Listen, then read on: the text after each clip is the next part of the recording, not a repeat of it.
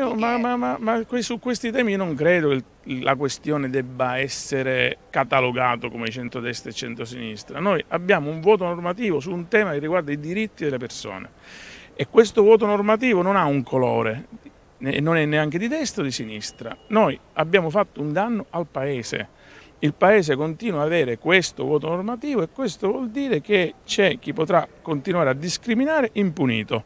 Questo è quello che mi interessa. Poi le analisi politiche le lascio a chi ha trasformato questo scontro in uno scontro tutto politico, ideologico per guadagnare un punto percentuale sui sondaggi. Noi abbiamo fatto un altro lavoro che ci ha fatto anche perdere eh, di in consenso, perché è facile dire voglio la legge così com'è, fare le dirette social, andare da, da, Fazio a parlare. Poi però per fare passare la legge servono le mediazioni. Il nostro percorso avrebbe prodotto una legge e oggi saremo tranquilli. Invece il percorso che ci hanno propinato PD 5 Stelle, scontro frontale e il centrodestra che ha chiesto il voto segreto ha portato questo Paese a non avere ancora una legge.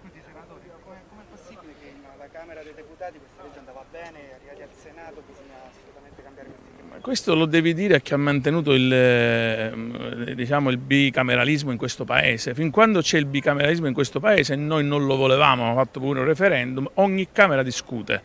Vi ricordo che da una Camera all'altra sono cambiate le condizioni politiche, perché quando è stato approvato alla Camera c'era una maggioranza politica con un governo che avrebbe probabilmente anche chiesto la fiducia sul testo uscito dalla Camera, quando è arrivato al Senato c'era il governo Draghi, non c'era un governo che avrebbe chiesto la fiducia e quindi hanno cambiate totalmente le condizioni. O capisci che sono cambiate le condizioni e quindi devi sforzarti di allargare la maggioranza in modo che anche se ci dovesse essere un voto segreto comunque sei tranquillo che li, li mandi sotto oppure vai a, diciamo, a sbattere contro un muro, è quello che è accaduto e si assumeranno responsabilità quelli che hanno blaterato, perché hanno blaterato in tutti questi mesi dicendo eh, vogliamo la legge, il DDL Zan e tutto il resto e poi oggi ci troviamo con un pugno di mosche nelle mani. Eh, si può prendere perché Italia Viva abbia cambiato diciamo, questa, questa Ma io, io non lo so perché tu non lo comprendi, io te l'ho spiegato e te lo ribadisco. Noi non avevamo i numeri al Senato per approvare il provvedimento com'era dalla Camera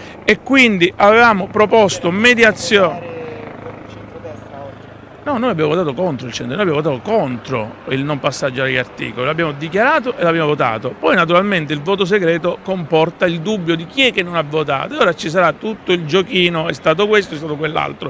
Per evitare il giochino di è stato questo, è stato quell'altro, bisognava o non chiedere il voto segreto e il centrodestra ha sbagliato a chiederlo, o evitare di arrivare a questo punto. E quindi non ci sarebbe stato lo scontro, si creava una maggioranza ampia, quindi oltre quelli che avevano votato alla Camera si sommava almeno un'altra forza politica, ci prendevamo un margine, poi chi chiedeva il voto segreto lo chiedeva, mandavano sotto, invece così ci hanno portato al massacro. Quindi Ed si è... può parlare di un tatticismo da parte comunque della Lega e del Presidente Ostellari?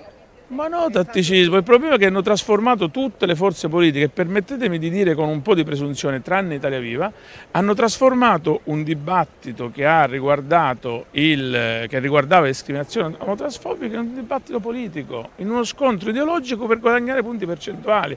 Io credo che tutto questo non è stato un bene per il Paese, occhio che vi investo.